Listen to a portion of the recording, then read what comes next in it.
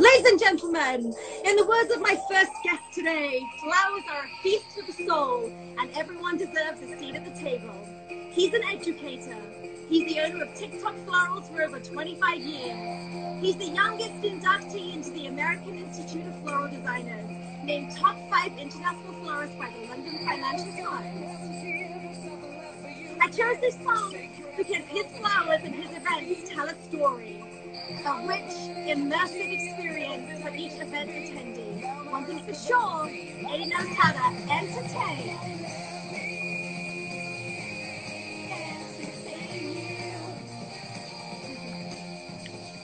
This is so your theme song, Eddie.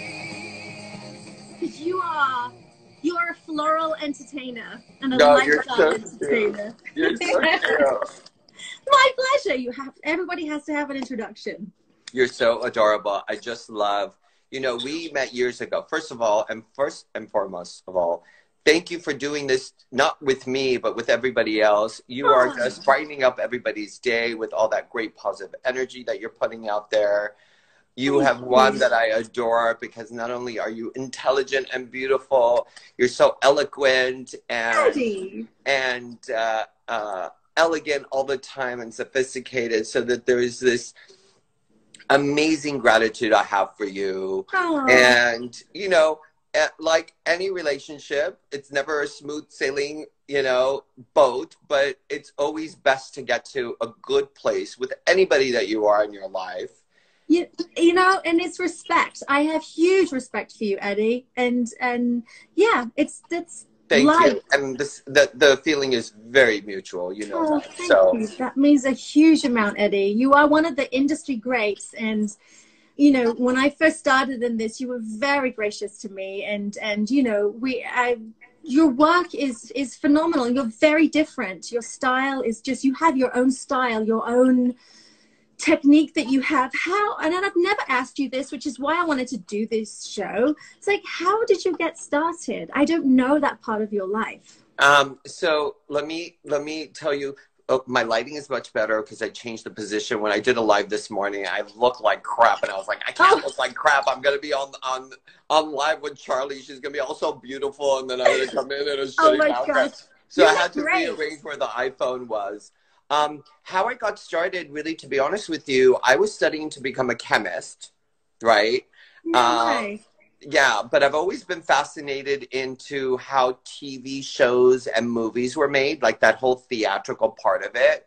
Yeah. Um, and um, I was studying in college to become a chemist, and of course, uh, how can a personality like this be in a in a secluded room with no people interaction? That's I can't imagine you in a lab coat, you know. Um, but what broke, um, what what triggered me to kind of not pursue that and kind of pursue my passion for design was uh, there was a couple chemicals that popped into my uh, eyes because I wasn't wearing the proper secure goggles for them, Oh. and I was like, I can't do this. I can't have my eyes like because my eyes, my since I was a young child, that the the vision of my eyes seeing different places that we traveled with my family and, and seeing color and architecture and uh, eating all this amazing uh, food from different uh, parts of the world and I Mm. just kind of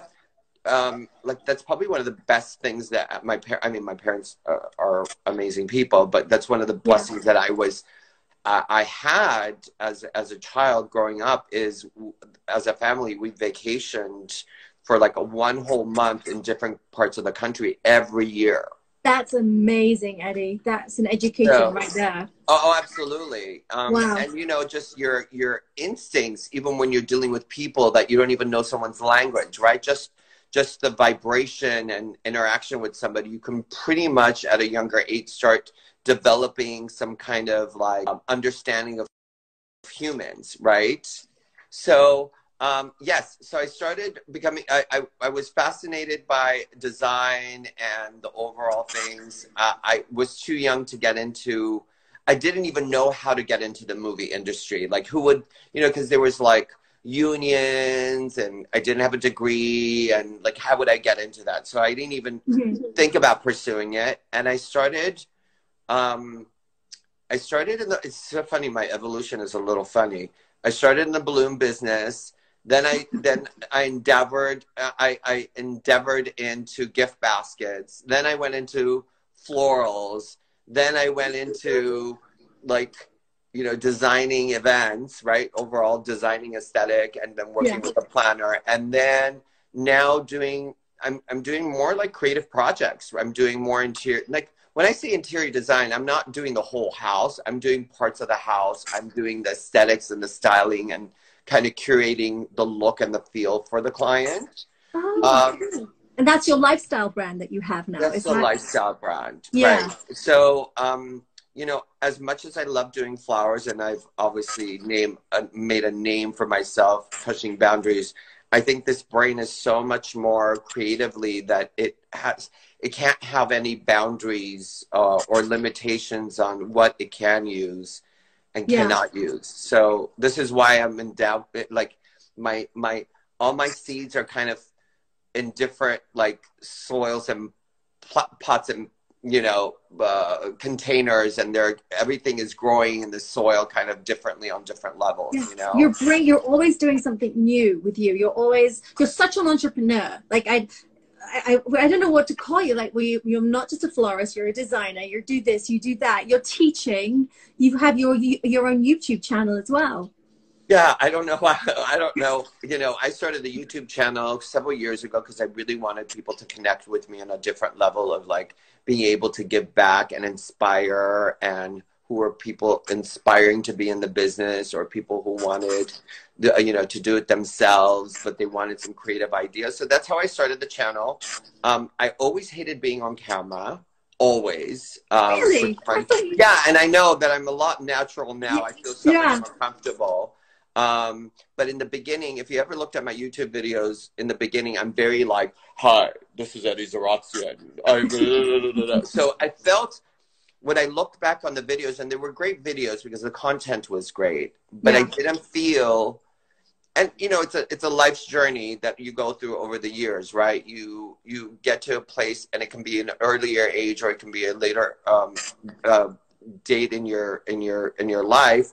Um, you you own it you believe yeah. in yourself and you let it go and there's yeah. nothing you're happy with you yourself what anybody says you don't care about what anybody no. says not in a bad way but in it's like you let it go and so i felt yeah. like I, I, was like you're such a nice guy and then you know because you're a leader you're you know people see you like this mm-hmm.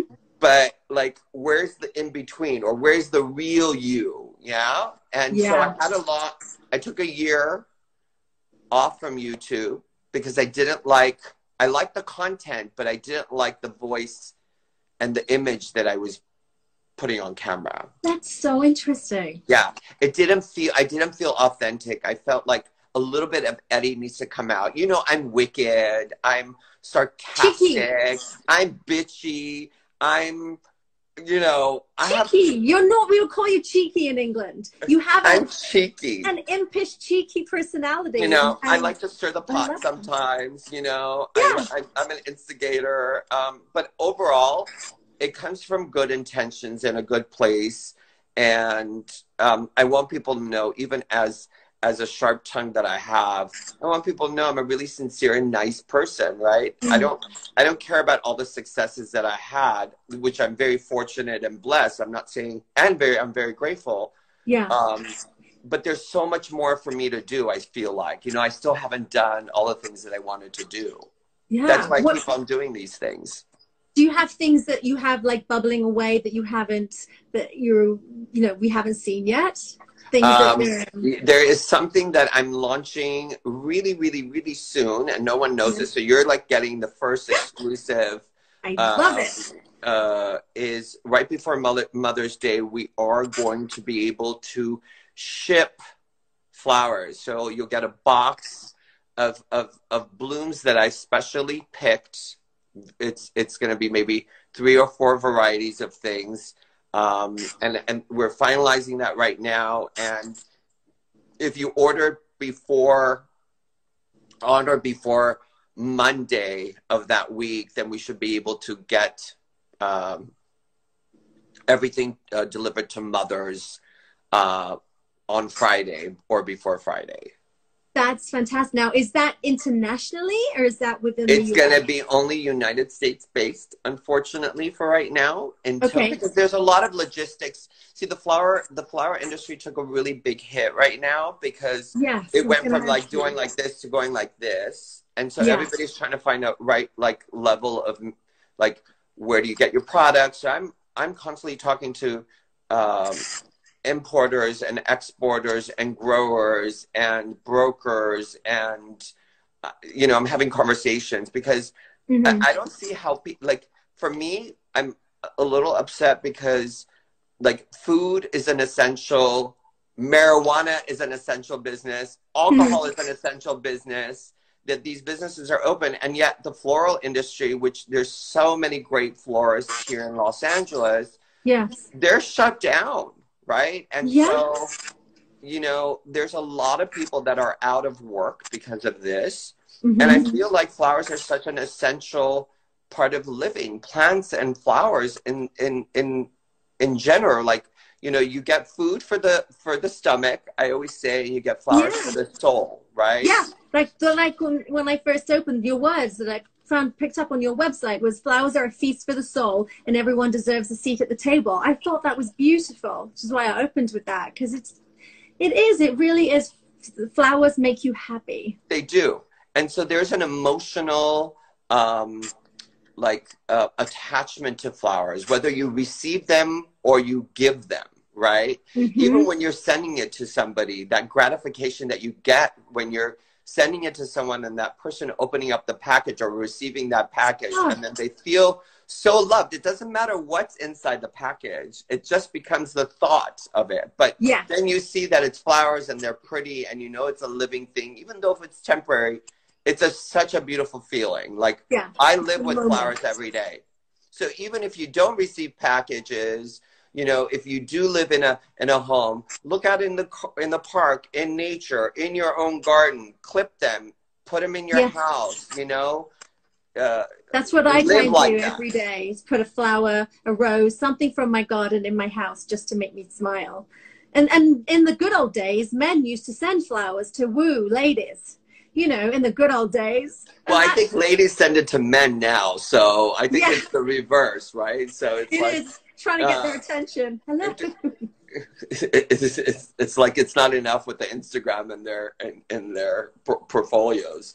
But anyways, yes, So um, I was going to say, so with the with the issues going on with with flowers around the world, do you think that this is going to make a, a huge difference on pricing and costing next year for weddings and events? you know this is a question that I um, we don't even know if it's going to even affect it within when the the the the, the industry opens up and is actually doing events. Right, we're hoping that uh, in September this would be completely. Um, you know, we're, you know, at, at that point, we would, I think, start with weddings in September. I mean, this thing will hopefully be over. Um, but if you're thinking about, we're, we're, we're almost, if it's September, we're almost in the nine month. We're already three quarters into the year with no events, right? Yep. Um, and so we don't even know how the suppliers, we don't know if any growers are going to go out of business. What is, you know, not having frequent flights for airplanes from internationally might, you know, you we don't know if gasoline is going to go up in price. So there's so many variables that we are not